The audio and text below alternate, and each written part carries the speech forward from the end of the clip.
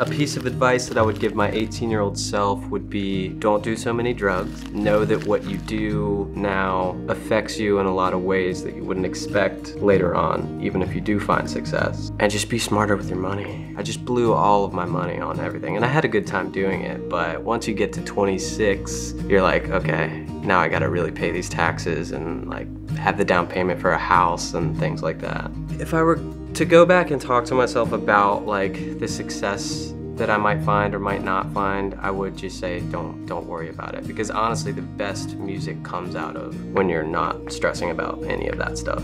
As soon as you start to think about money or how your songs are gonna do um, or how people are gonna perceive them, that's when they start to lose their uniqueness and that's when I think a lot of artists they fall for that mistake, especially with their second albums, and they just start making stuff that's unremarkable. Doesn't mean it's bad, it's just not unique.